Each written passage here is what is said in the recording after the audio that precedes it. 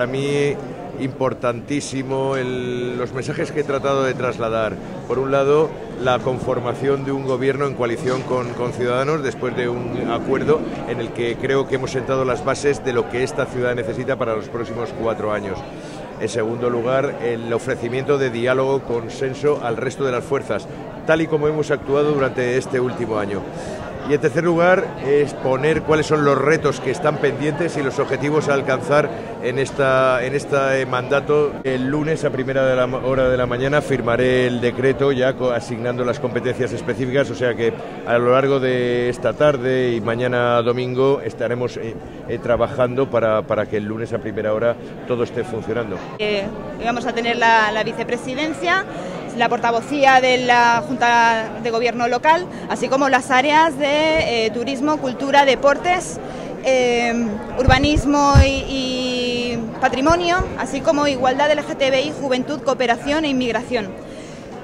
El reparto de las áreas todavía no está hecho porque las negociaciones ayer se prolongaron a lo largo de la tarde y casi casi casi que de la noche la firma ya se produjo a unas horas bastante tardías después de una semana de mucho trabajo y en cuanto terminamos lo que tuvo lugar fue la preparación de este pleno. En las próximas horas, en los próximos días, os eh, diremos cómo ha quedado el, reparto de competencias, pero de momento no, no hay nada repartido.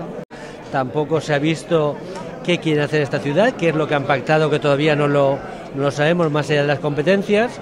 Parece ser que el quién sí que lo tienen claro, quién va a ocupar cada competencia, pero el qué, que es lo importante, que van a hacer con la ciudad, pues de momento no hemos escuchado nada ni por parte del señor Barcala, ni muchísimo menos por parte del señor Sánchez. Que Luis Barcala no cuenta con la mayoría absoluta, con los apoyos necesarios para poder llevar adelante durante el próximo mandato eh, presupuestos municipales, por lo tanto va a tener que tirar de la ayuda de, la ultraderecha, de Vox, y eso es lo que nos está preocupando a nosotros. Creo que Paco Sanguino, creo que el Partido Socialista ha hecho esto muy tarde. Creo que si nos hubiésemos sentado todos a, pactar eh, una serie de, medidas programáticas, tal y como planteamos desde Unidas Podemos, podríamos haber evitado que el, eh, evitado que el Partido Popular gobernase de nuevo la alcaldía. Ninguno de los dos ha querido sentarse con nosotros y hemos sido consecuentes y por supuesto tampoco hubiésemos compartido el acuerdo que se conoció ayer con la creación de nuevos chiringuitos como es la concejalía LGTBI.